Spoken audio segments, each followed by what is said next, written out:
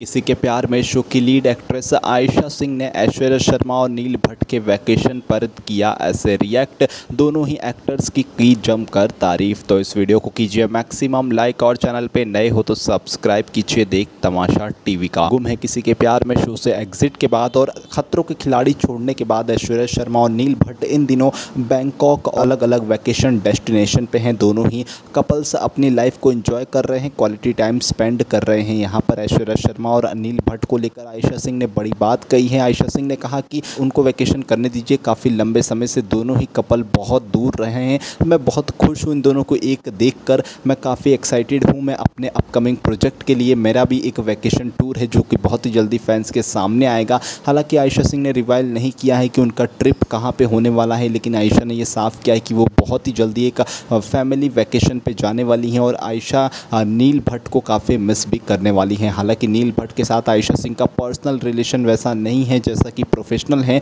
लेकिन आयशा सिंह ने जिस तरीके से नील भट्ट और ऐश्वर्या शर्मा की तारीफ़ की है, इससे बड़ा आयशा सिंह के लिए ये कहना कि आयशा कितने सिंपल सिटी है और कितनी ब्यूटीफुल नेचर की है, ये बिल्कुल गलत नहीं होगा। आयशा को लेकर ऐश्वर्या कुछ भी कहे, लेकिन हमेशा ही आयशा सिंह नील भट्ट और ऐश्वर्या शर्मा की इज़्ज़त करती हैं, इसका साफ़ नज़र आ चुका है इस बयान पे। फ़िलहाल के लिए आपका क्या है ओपिनियन? आयशा सिंह के सनसनीखेज खुलासे पर लिखिएगा ज़रूर अपना ओपिनियन कमेंट बॉक्स में और इसी तरीके की वीडियोस के लिए चैनल को सब्सक्राइब